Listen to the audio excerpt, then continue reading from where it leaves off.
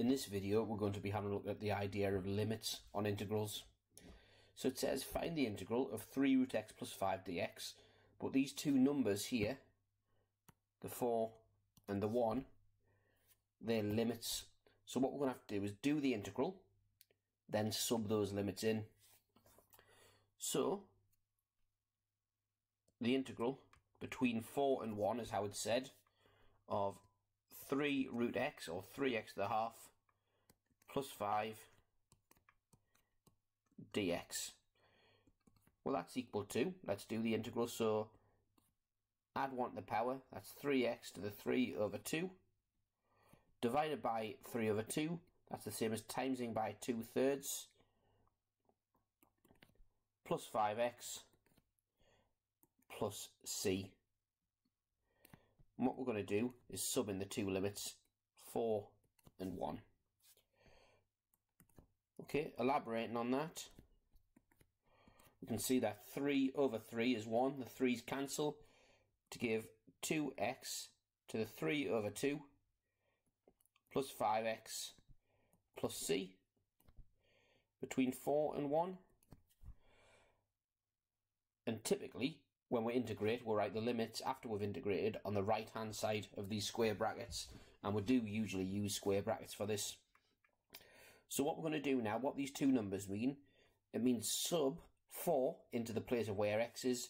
We know that we're going to sub it in the place of where x is because the integral is res with respect to x. So the limits are x values. So let's sub that in.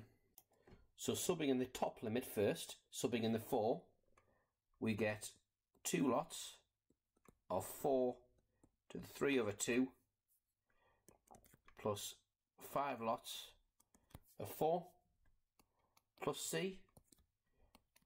Then we're going to take away the same expression but with 1 subbed in and that's what those limits mean. Two lots of 1 to the 3 over 2 plus 5 lots of 1 plus c. So notice that the c's cancel. We've got a plus c there, and we're taking a c. So actually, this will be the case in every single one of these. So we needn't ever write the plus c when we're doing integrals with limits. It's perfectly acceptable not to do the plus c in this one instance where the integral has limits. So let's eliminate all trace of that plus c now and take for granted that in future you don't need to write a plus c when the integral has limits. Right, so now getting the calculator up and typing these limits in, we get two lots of 4 to the power of 3 over 2 plus 5 lots of 4 and that's equal to 36 equals 36 and then replacing the 4 with a 1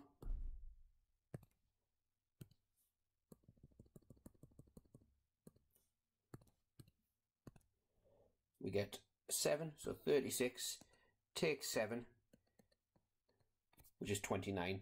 So that's what the limits mean. It means sub in the 4 to the expression, sub in the 1 to the expression, then take the 2 away from each other.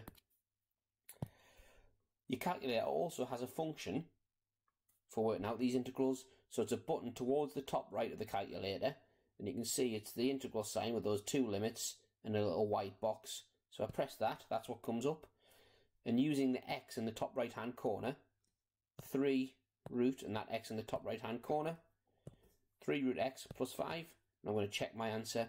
Now I'm going to press the down key to get the lower limit, which is 1, then press the up key to get the upper limit, which is 4, press equals, and I get 29, which is the answer. For more videos like this, go to alevelmathsrevision.com or subscribe to our YouTube channel.